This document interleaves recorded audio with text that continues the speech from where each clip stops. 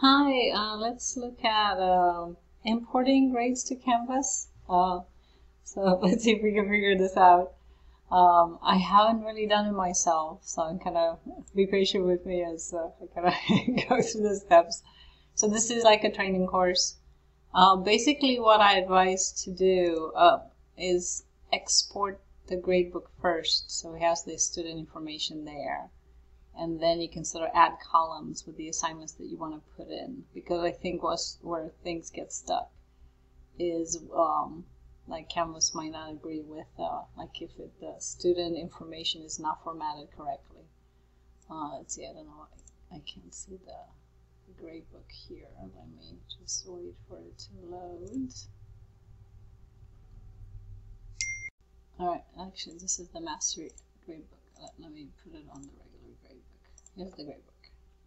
Oh, that's still the mastery gradebook. There you go. Okay, so here's I have some students here. All right, big students.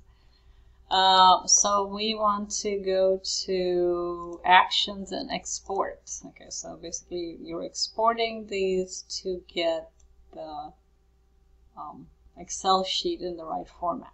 Okay, so I'm going to open the Excel sheet.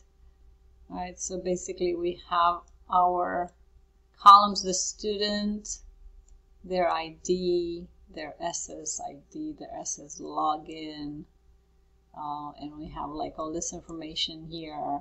So basically you want to have all that in there as standard. You don't want to get rid of it. Okay, we have all those uh, those columns there. All right, um, and now there's like columns in the gradebook already.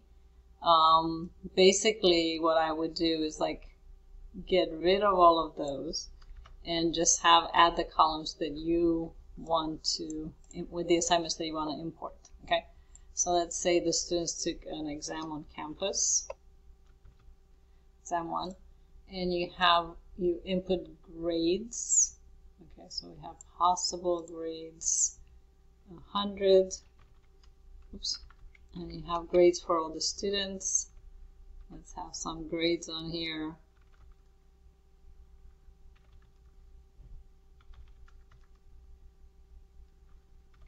let's give them nice grades all your students are doing pretty awesome. Okay, so you have this exam, and you can have like more than one. Okay, so you can have more than one column. Maybe, maybe let's have another exam here. Let's have exam two also. All right, I guess you can. So do this like after each time that they do an assignment, or you can do it at the end. I recommend that you know you update it often. All right, so I'm going to save this. Uh, how do I save this? File save. File, save as. Let's make it grades. And I'm just going to leave it in my downloads. Okay, now let's go to Canvas and now we're going to import this. Okay, so here we have, you can see that we have our original gradebook with all these assignments here. I'm going to import to the CVS file. Okay, and we're going to import the grades and upload the data. All right, so assignment in question, so exam one. All right, so you can you have a choice here, like enter new assignment, ignore it, sample. So it's you can basically enter it as a new assignment, ignore it, or overwrite one of the existing ones. Okay, so new assignment, new assignment, possible points.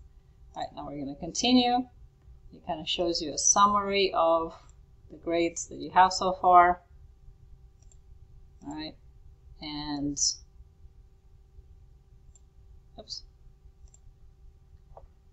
Uh, you're gonna save changes. Okay, you will be redirected to Gradebook while your file is being uploaded. If you have a large CSV file, your change must take a few minutes. Okay, so um, confirm the upload. Okay, so okay. All right, so I think we need to wait a little bit. Okay, so let's see it wasn't a big file, so let's see. Let's look at the gradebook here. There you go. There you go. So here's the two columns in here. All right. Um, why are these missing? I Don't know why these are missing. Question. Uh, maybe this. Oh, I don't think these are active students. Or I'm not sure what. Oh, I think so. I think so. I think those are. Let me let me actually. I'm not sure what those are missing. So let's let, let's let me look at my people. Test students. Oh yeah, see these students are not active. They didn't actually accept the course. That's why it shows it's blank. It's not because anything went wrong. Um, so yeah, that, that's how you do it. So again, if you are running into problems uploading, it's probably because you don't have the right columns at the beginning. So the workaround for that is to download the gradebook first to make sure that all the information is correct.